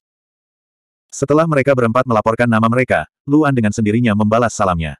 Dia menangkupkan tangannya dan berkata, Saya Luan. Mohon pencerahannya. Kedua belah pihak meletakkan tangan mereka, dan pada saat ini, ahli panggung Raja Surgawi dari klan Fu telah tiba di ketinggian yang lebih rendah. Ketika dia melihat kedua belah pihak sudah siap, dia berkata, mari kita mulai. Begitu dia mengatakan ini, mata Nyonya Liu dan tiga lainnya menjadi dingin, dan mereka segera bergerak. Ledakan. Mereka berempat keluar dalam sekejap. Kecepatan mereka sangat cepat, dan mereka bahkan tidak melepaskan kekuatan apa pun saat mereka menyerang ke depan. Karena itu, Luan merasa mereka berempat menghilang dalam sekejap. Bersenandung. Alam Dewa Iblis diaktifkan, dan dia hampir tidak bisa melihat sosok bergerak dari empat orang dengan sepasang mata merah darahnya, tapi bayangan itu juga sangat kabur. Pada saat Luan melihat keempat sosok itu, mereka sudah setengah jalan, yang berarti jarak antara mereka telah diperpendek menjadi 80 ribu kaki. Tidak hanya mereka menyerang ke depan, tetapi jarak antara mereka berempat juga menyebar, dengan jarak antara mereka lebih dari 3.000 kaki. Ini berarti mereka berempat tidak bermaksud untuk menyerang dan terlibat dalam pertempuran jarak dekat dengan Luan, tetapi ingin mengepung Luan terlebih dahulu. Sebelum ruang kacau mencapainya, Luan segera menggunakan kemampuan spasialnya, dan sosoknya menghilang. Suara mendesing. Mereka berempat yang sudah menyebar dalam formasi trapesium segera berhenti. Selain menghancurkan ruang di sekitarnya, mereka tidak menggunakan kekuatan apa pun. Berbagai klan di udara sedikit mengangguk ketika mereka melihat pemandangan ini. Jelas sekali setelah menyaksikan pertarungan antara Luan dan klan Kang, semua orang menjadi lebih pintar. Tidak perlu menggunakan kekuatan sejak awal, karena Luan hampir pasti akan menggunakan kemampuan spasialnya. Untuk melihat dengan jelas jurus apa yang akan dia gunakan, mereka tidak perlu menggunakan tenaga untuk mempertahankan konsumsi tenaga, dan pada saat yang sama, menghindari beban dan kelembaman yang ditimbulkan oleh tenaga pada tubuh mereka. Cara terbaik adalah mengepung Luan terlebih dahulu, atau memaksa Luan melakukan gerakan pertama. Sebelum pertempuran antara Luan dan klan Kang, klan Liu telah memilih orang-orang untuk dilawan, tetapi jumlah dan kombinasinya telah berubah. Dalam beberapa hari setelah menyaksikan pertarungan antara klan Kang, mereka berempat berdiskusi bagaimana cara mengalahkan Luan, termasuk klan lainnya, dan kini saatnya menguji hasilnya. Mereka harus tenang. Mereka berempat dengan cepat naik hingga 20 ribu kaki di udara, dan tidak berdiri di tanah. Perlu disebutkan bahwa permukaan planet ini bukanlah batuan, setidaknya di area tempat medan perang berada, melainkan tanah yang tak ada habisnya. Dengan kata lain, tempat ini sangat cocok untuk pertarungan atribut kayu, dan sangat bersahabat dengan penggunaan atribut kayu. Ketika mereka berempat berhenti, sosok Luan dengan cepat muncul di kejauhan, dan posisinya mundur sejauh 16.000 kaki. Mereka berempat yang selama ini menggunakan penglihatan dan persepsinya untuk mencari Luan, segera menemukan posisi Luan. Namun kali ini, mereka tidak bergerak maju, melainkan berdiri di tempatnya. Arti dari keempatnya sudah jelas. Mereka sudah menyerang, tapi Luan telah mundur. Jika mereka terus mengejar seperti ini, tidak akan ada habisnya. Dengan kata lain, mereka berempat telah menjelaskan bahwa mereka tidak akan menggunakan kekuatan mereka terlebih dahulu, dan apa yang harus dilakukan terserah pada Luan. Luan memandang keempat orang yang berdiri di kejauhan. Jika dia menganggap mereka sebagai orang-orang spirit race. Pada kenyataannya, dia kemungkinan besar akan memilih untuk pergi secara langsung, dan hanya kemungkinan kecil yang akan memilih untuk melawan mereka. Terlebih lagi, keinginan orang-orang Rasro untuk membunuhnya adalah hal yang nyata. Mereka akan mengejarnya sampai dia mati, dan mereka tidak akan menyerah seperti klan Liu dan yang lainnya. Dengan kata lain, klan Liu tahu bahwa ini adalah pertarungan, tetapi kenyataannya, mereka telah menggunakan poin ini untuk membuat Luan kehilangan banyak inisiatif, dan bahkan menjadi pasif. Namun, karena itu adalah pertarungan, Luan bersedia mengambil risiko yang lebih besar. Dia telah memenangkan satu pertempuran, dan dia serta klan Liu tidak perlu terlalu peduli tentang menang atau kalah. Dengan demikian, ledakan. Sosok Luan tiba-tiba bergegas ke depan, mengambil inisiatif untuk menyerang mereka berempat. Mendesis. Semua orang di langit menghirup udara dingin saat melihat ini. Apakah Luan gila? Jika dia tidak menggunakan teleportasinya untuk menciptakan keuntungan, dan malah menyerang dari awal, apa bedanya dengan membuang nyawanya? Hanya dengan menggunakan teknik dan tarikan barulah dia mampu menciptakan keunggulan dan mengimbangi perbedaan kekuatan antara kedua belah pihak. Apakah Luan terlalu percaya diri? Gemuruh. Melihat Luan menyerang mereka, mereka berempat menjadi waspada. Meski terkejut, mereka tidak bisa lengah. Mereka berempat membentuk formasi trapesium, dan mereka juga maju dengan cepat, mengambil inisiatif untuk menyerang Luan. Namun, mereka tidak terburu-buru menyerang. Ledakan. Liu Yangling dan Liu Huayan, yang berada di depan formasi trapesium, telah melewati posisi Luan, dan sekarang berada lebih dari 60 ribu kaki dari punggung Luan Luan. Pada saat ini, mereka berempat dengan cepat berhenti, dan formasi mereka berhasil berubah menjadi persegi. Mereka berempat mengepung Luan dengan jarak 30 ribu kaki di antara mereka. Luan, yang telah memasuki pengepungan, juga segera berhenti, tepat di tengah alun-alun. Lingkungan di sekitarnya adalah ruang yang kacau. Meskipun Luan dapat mengerahkan kekuatan kegelapan, karena dia ada di sini, dia tidak akan menggunakan teleportasinya dengan mudah. Mereka berempat menarik napas dalam-dalam. Tidak peduli apa, Luan telah memasuki pengepungan mereka, dan dia mengambil inisiatif untuk melakukannya. Jika mereka tetap tidak menyerang, itu sama sekali tidak masuk akal. Oleh karena itu, di bawah pengawasan semua orang di langit, mereka berempat segera mengaktifkan kekuatan garis keturunan mereka, dan bahkan memobilisasi dan menggunakannya dengan cara yang persis sama, yang berarti mereka berempat akan menggunakan gerakan yang sama persis.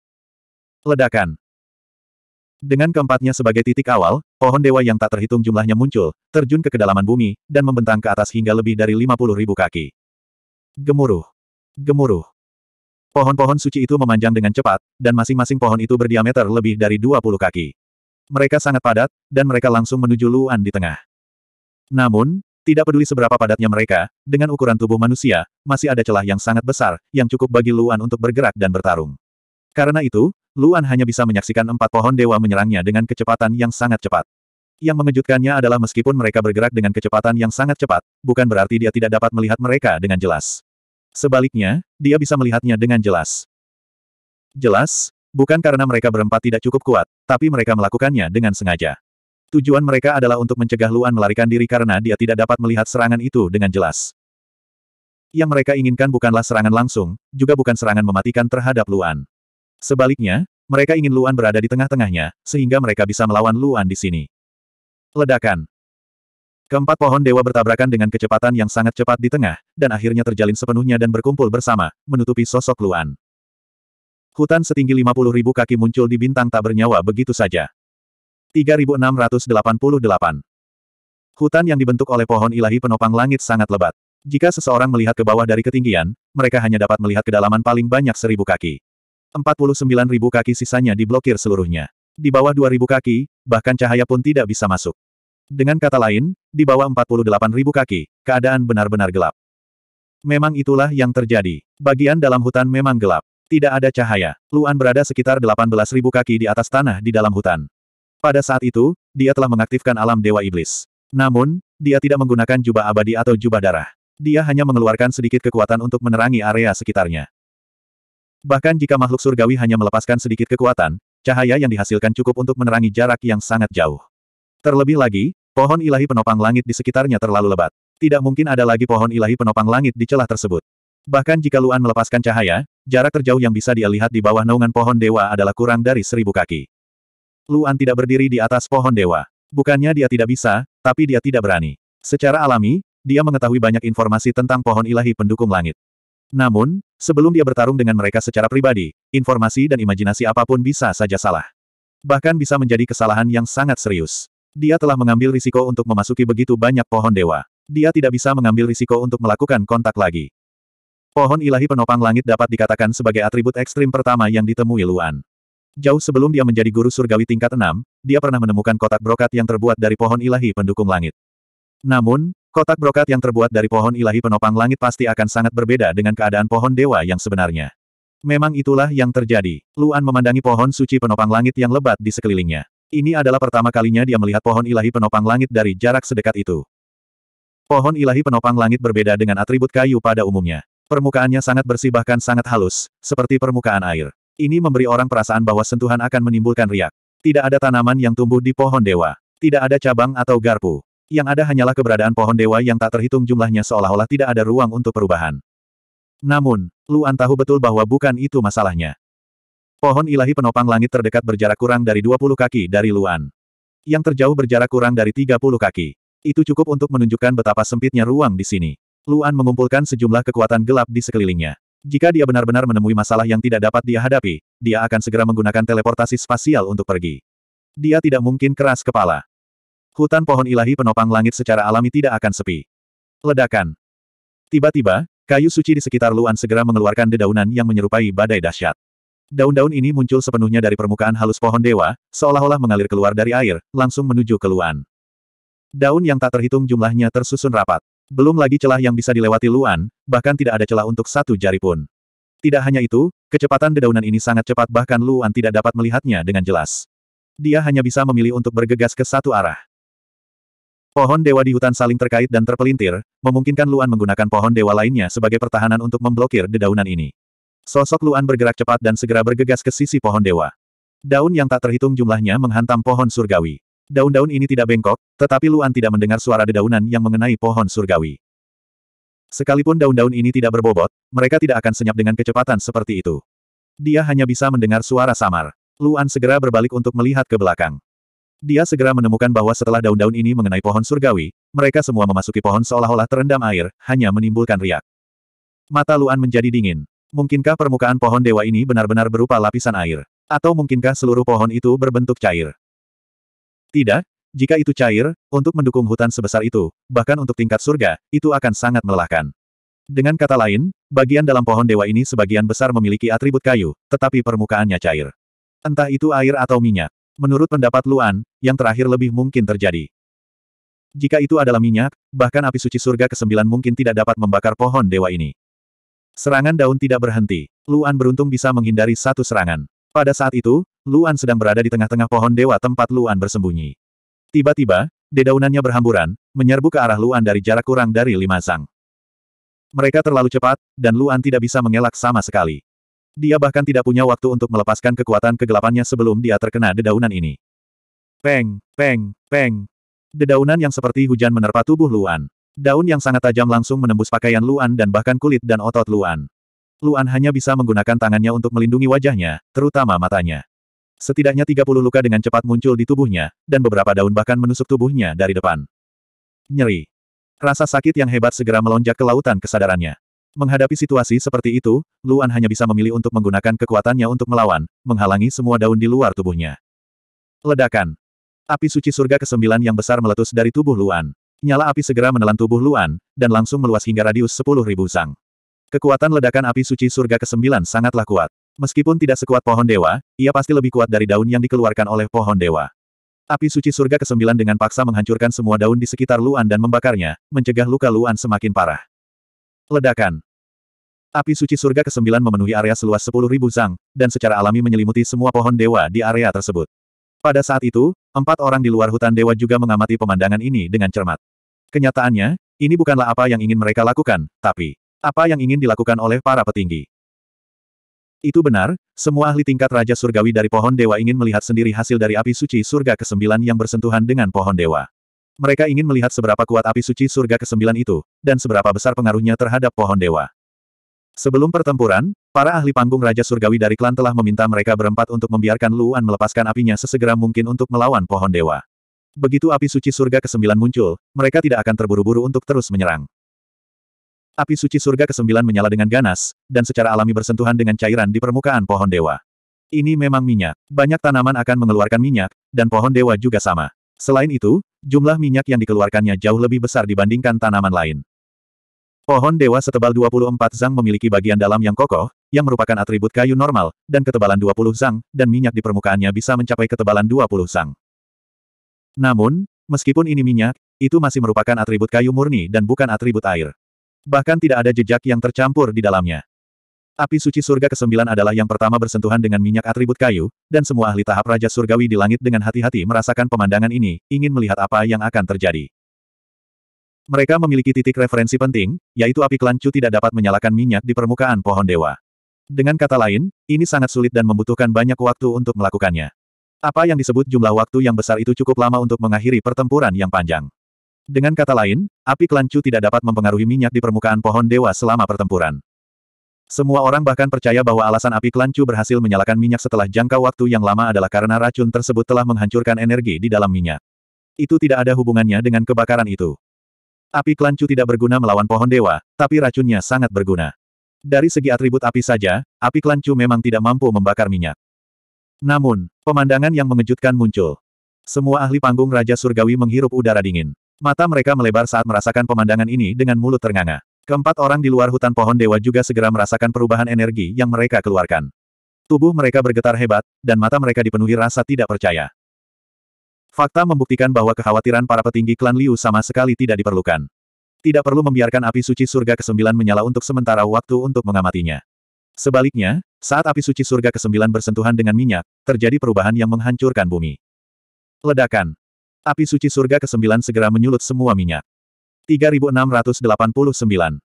Ledakan. Api suci surga ke-9 meletus di hutan kayu ilahi. Ke mana pun api suci lewat, minyak di permukaan kayu ilahi segera tersulut, menjadi penolong yang kuat terhadap api, menyebabkannya terbakar lebih hebat lagi. Pemandangan ini terlihat jelas oleh semua Raja Surgawi di langit, menyebabkan mereka menghirup udara dingin. Sebelum kejadian ini terjadi, hampir semua orang mengira bahwa minyak di permukaan kayu ilahi adalah zat yang tidak mudah terbakar. Namun, adegan ini dengan kejam menamparkan wajah semua orang, sangat merusak atau bahkan menghancurkan akal sehat semua orang.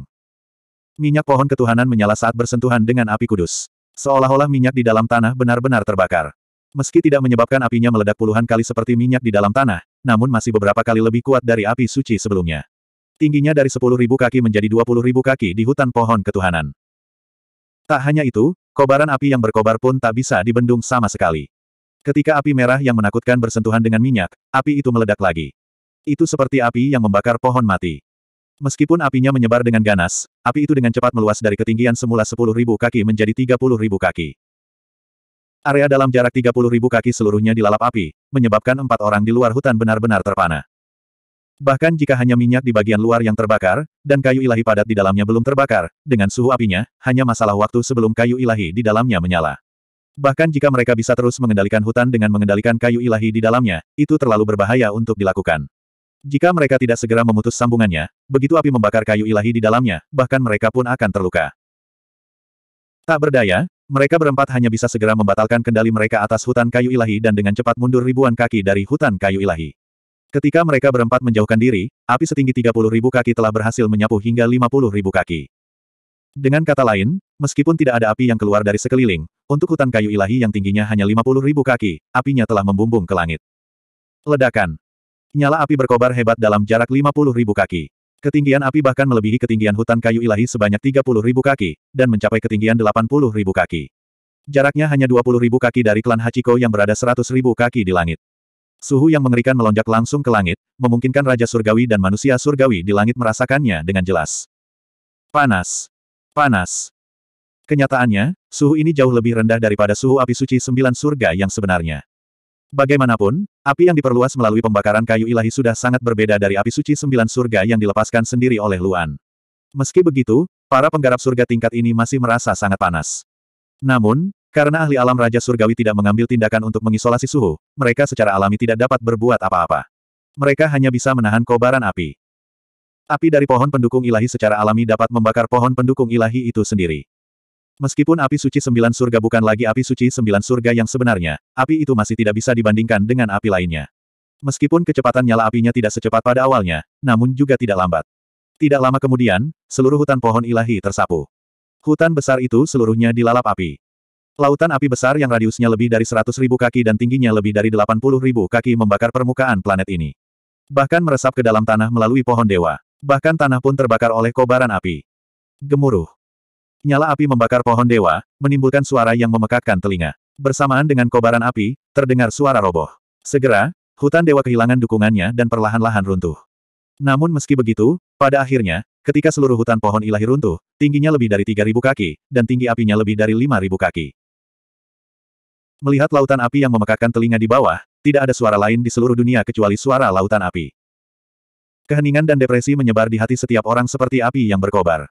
Terutama klan Liu. Ratusan anggota klan Liu menyaksikan pemandangan ini dengan mata kepala mereka sendiri.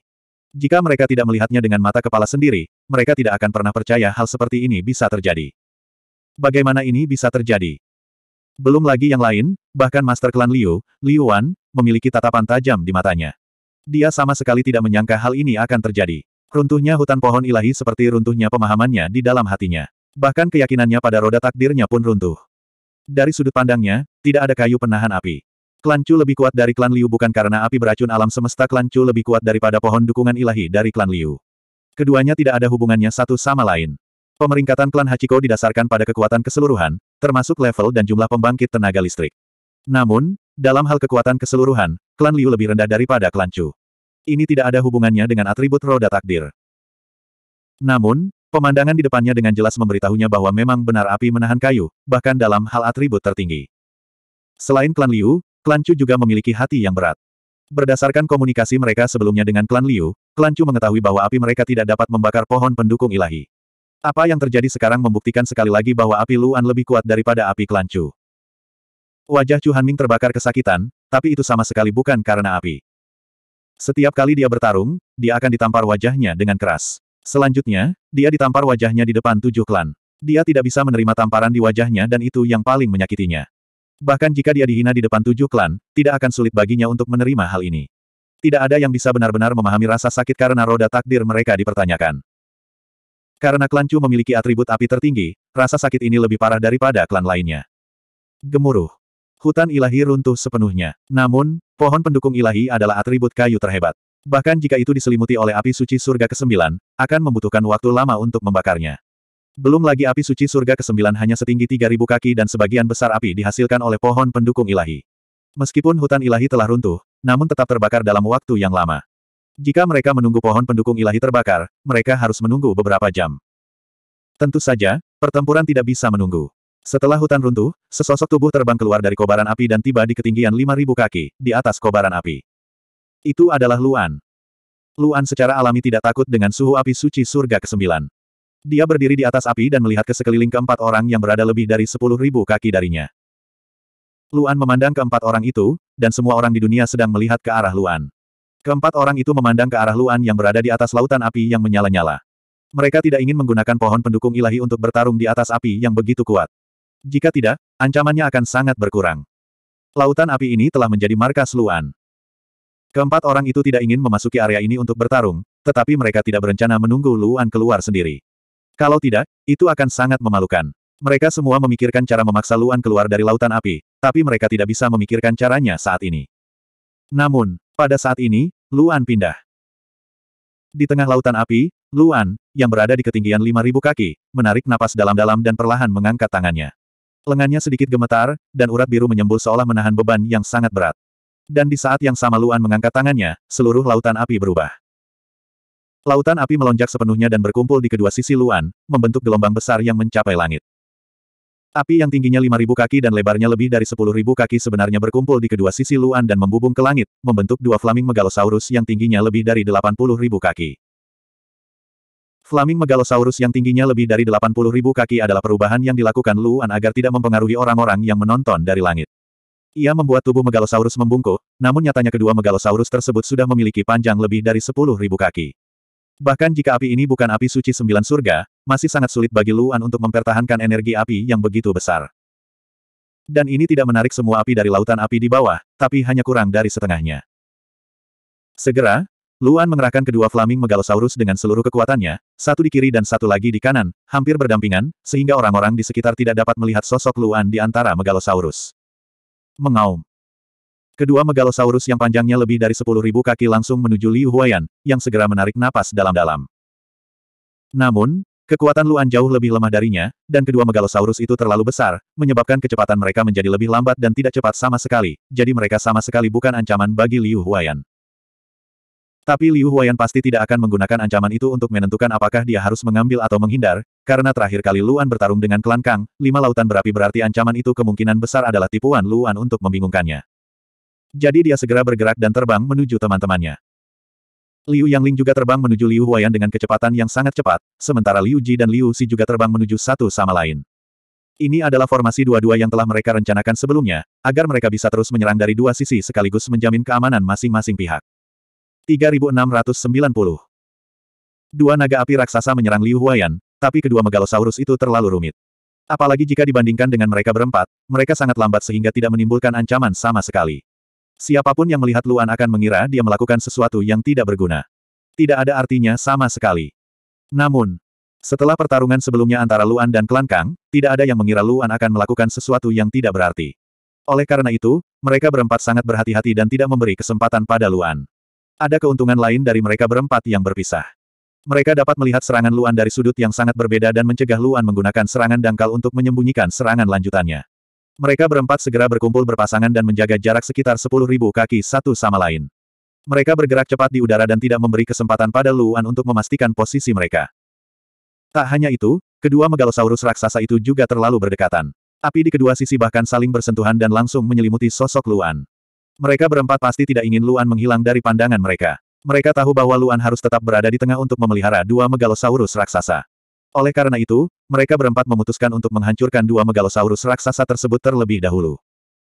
Sangat sulit bagi Luan untuk memelihara dua megalosaurus raksasa itu. Oleh karena itu, tidak sulit bagi mereka untuk menghancurkannya. Mereka hanya perlu sedikit merusak keseimbangan untuk menghancurkannya. Apalagi dengan mereka berempat bekerja sama, tidak membutuhkan banyak tenaga untuk masing-masingnya.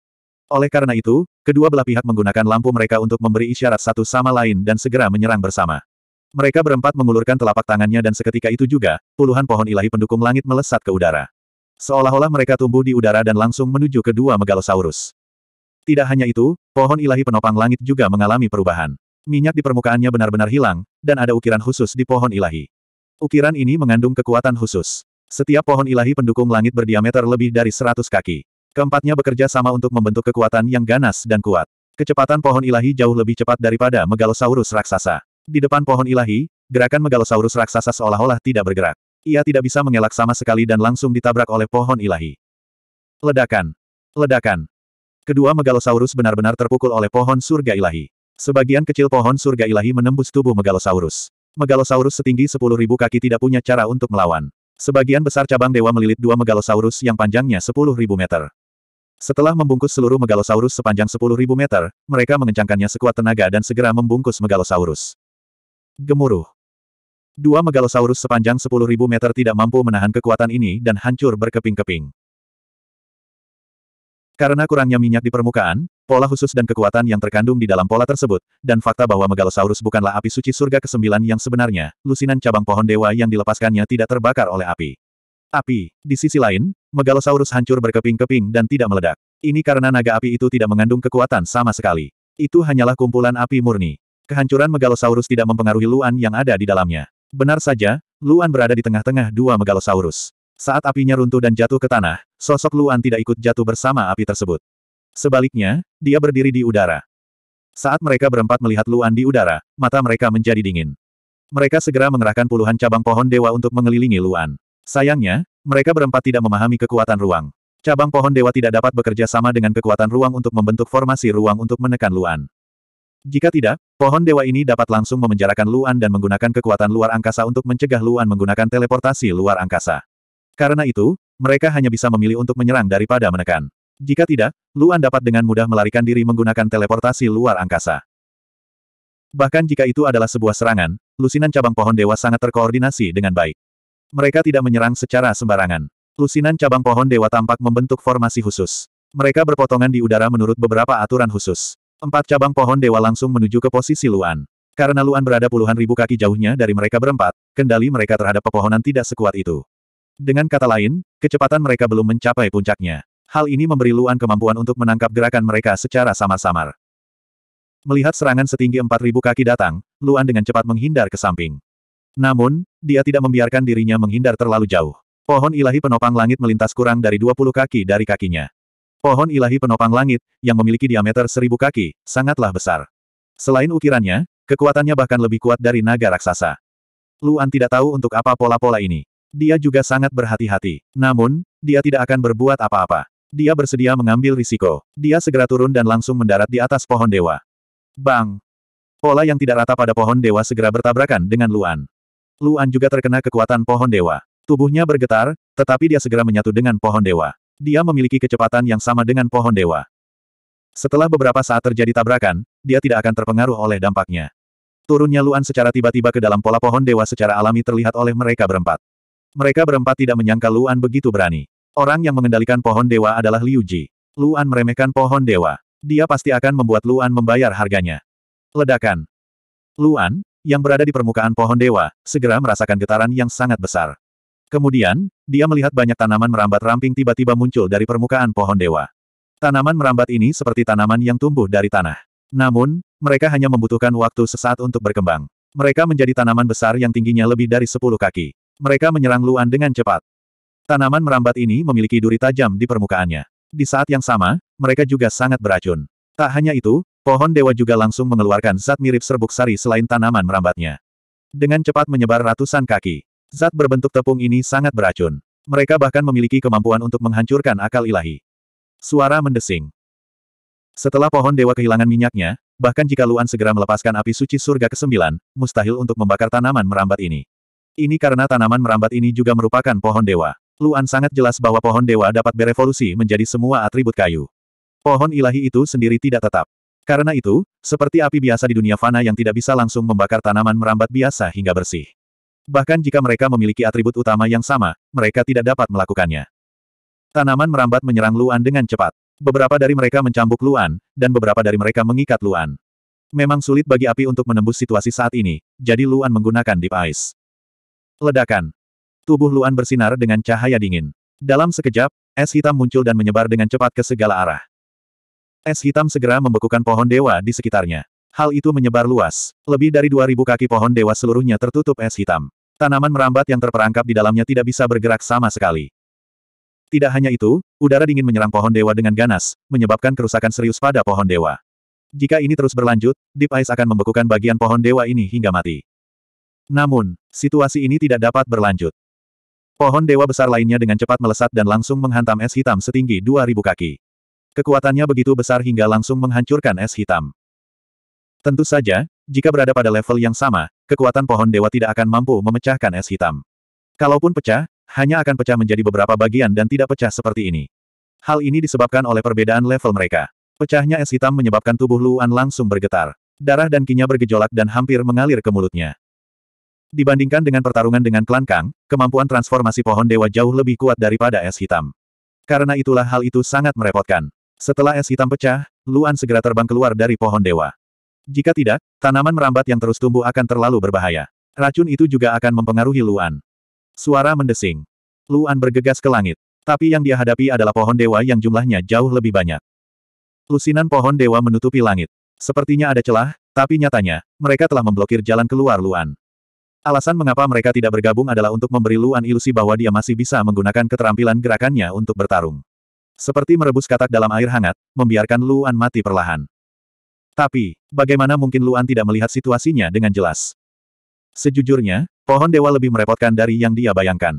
Kesulitan menghadapinya juga jauh lebih besar dibandingkan es hitam. Oleh karena itu, dalam situasi ini, Luan segera melepaskan energi gelapnya ke sekeliling. Nyonya Liu dan yang lainnya segera merasakan pemandangan ini. Mereka menarik napas dalam-dalam. Oh tidak. Luan ingin melarikan diri. Segera, mereka berempat tidak lagi berpura-pura. Mereka mengerahkan seluruh kekuatan mereka dan menyerang posisi Luan.